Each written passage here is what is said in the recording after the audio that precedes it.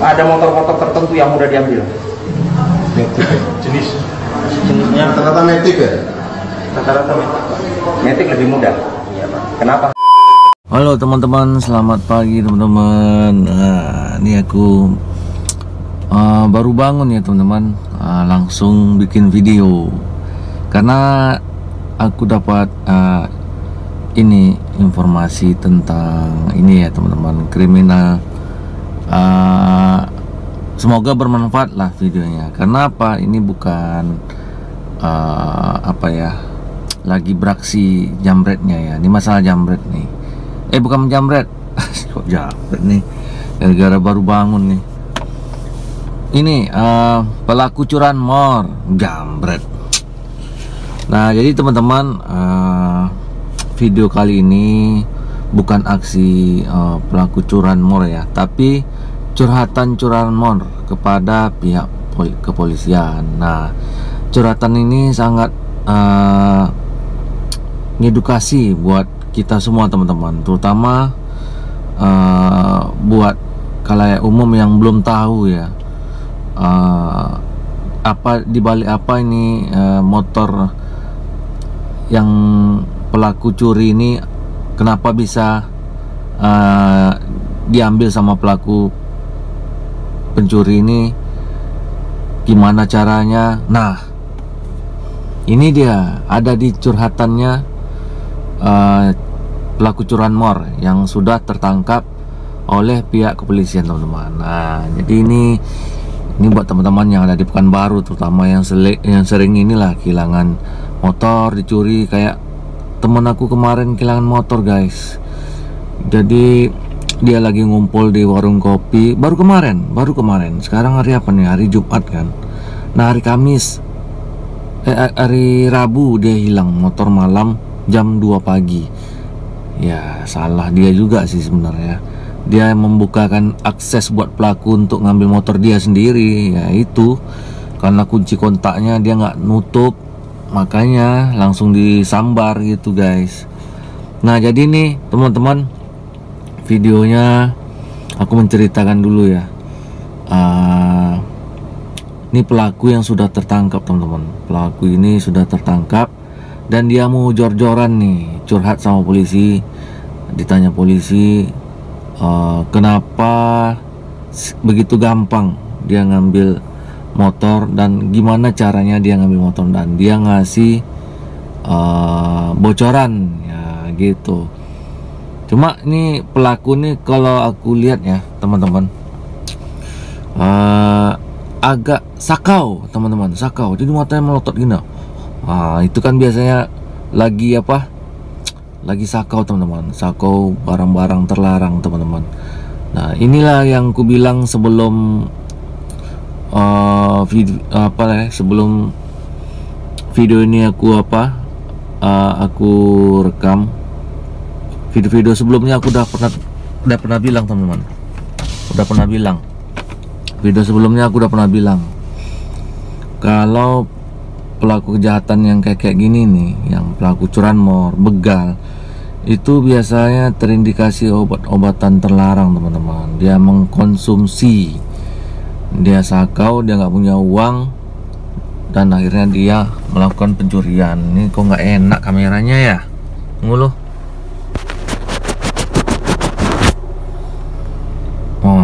Baru bersih nih. Dia lupa tadi ngelapnya. Agak kabur ya guys. Maaf ya. Nah jadi teman-teman uh, banyak kriminal di Pekanbaru ini itu dikarenakan faktor dua faktor ya. Menurut aku kalau teman-teman ada penambahan bisa nanti di komen teman-teman. Uh, faktor pertama kalau menurut aku ya yang paling fatal itu adalah uh, kecanduan obat-obatan terlarang uh, alias narkoboy ya. Uh, terus yang kedua faktor ekonomi teman-teman. Uh, ada tiga sih sebenarnya. Yang ketiga faktor main judi. Nah, ini dia nih main judi ini nggak nggak hilang-hilang nggak tahu kenapa. Katanya mau dihapus ini mau diberantas judi. Mana yang lain banyak main judi judi online. Nah payah lah nggak tahu lah aku Ah, yang tiga ini pokoknya faktor yang membuat orang mencuri sama merampok, membegal gitu kan. Nah, jadi teman-teman ah, yang belum tahu videonya, ini ada salah satu ah, cerita dari pelaku curanmor. Cerita ini benar-benar sangat berman- bermanfaat buat kita semua. Gitu. Apa katanya? Dia bilang apa? Ah, bocorannya. Nah, ini teman-teman. Ada motor-motor tertentu yang mudah diambil. Metik. Jenis jenisnya Rata-rata metik ya. rata-rata metik. Metik lebih mudah. Iya pak. Kenapa? yaitu asal gak ditenggok itu stang itu stang kanan Oh asal nggak ditenggok. Kalau ditenggok susah. tenggok kiri gak apa-apa gak Oh. usah stang kanan itu yang susah Oh kenapa gitu? soalnya kuncinya itu kan double double dua kalau lagi tenggok stang kanan Oh kalau kalau ke kanan agak susah. iya stang dua yang kunci itu stang dua kalau yang ke kiri stang satu Oh. Kamu hafal itu ya udah. iya Pakai pakai kunci T. iya pak Ya. Berapa detik itu antara kok truk langsung bisa jalan itu udah pasti tuh. Maksudnya langsung jalan tuh bisa. bisa satu menit Ya? bisa satu menit bisa Nggak nyampe kali ya. iya Nah, seperti itulah videonya teman-teman. Udah simak kan? Nah, jadi teman-teman kalau menguncikan stang itu harus sebelah kanan. Kalau mau aman, habis itu tutup ah, penutup kuncinya gitu. Jangan sebelah kiri. Katanya kan kalau sebelah kanan itu agak mengalami kesulitan dia untuk membobol pakai kunci T. Nah, kan bermanfaat kan? Jadi teman-teman jangan ngasal lagi ya kalau mau parkir. Ah, usahakan aja sebelah kanan. Kalau tukang parkirnya bilang susah sebelah kanan sebelah kiri aja, nggak usah mau. Karena apa? Nanti kalau hilang mau dia tanggung jawab. Ah, itu dia mau dia tanggung jawab. Kalau sempat hilang motornya gitu. Eh, Jadi teman-teman kayak pengalaman aku pernah aku parkir dia eh, tukang parkirnya maksa sebelah kiri aja bang apanya nguncinya jangan sebelah kanan susah nanti ah, itu aku nggak jadi parkir aku langsung pergi. Aku malas berdebat sama tukang parkir tuh aku langsung pergi aja. Aku bilang "Ah, nanti kalau hilang siapa yang tanggung jawab? Gitu. Nah dia dia langsung diam gitu guys.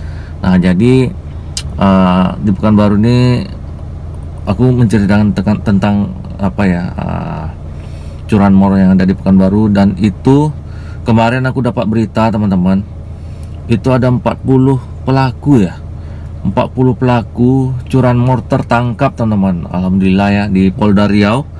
Nah jadi teman-teman ini langsung kuumumkan Jadi teman-teman yang merasa kehilangan motornya dicuri Dicuri sama pelaku curanmor Nah bisa langsung datang ke Polda Riau untuk mengecek kendaraan teman-teman.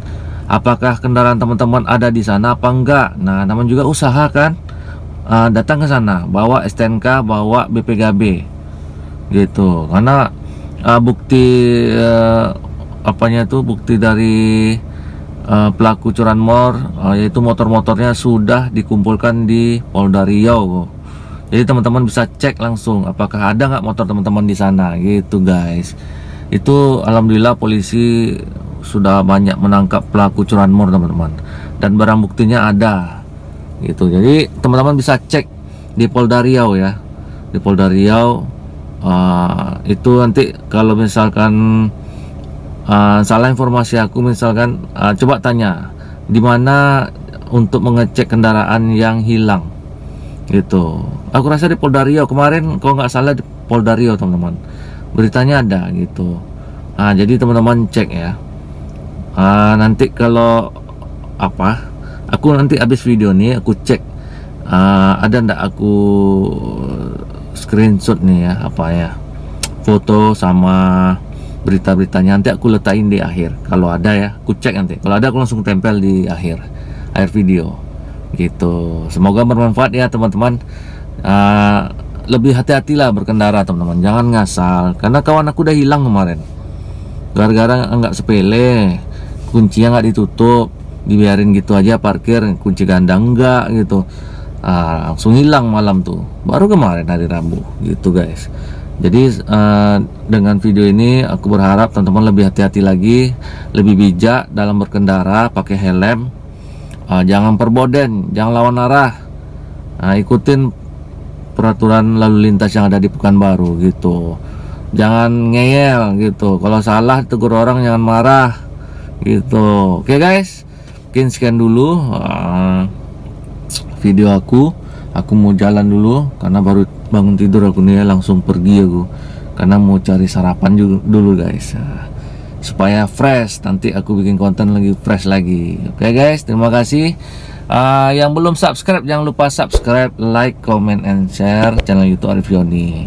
Yang belum, yang udah terima kasih teman-teman yang sudah klik-klik subscribe aku. Terima kasih teman-teman. Berarti teman-teman mensupport aku ya.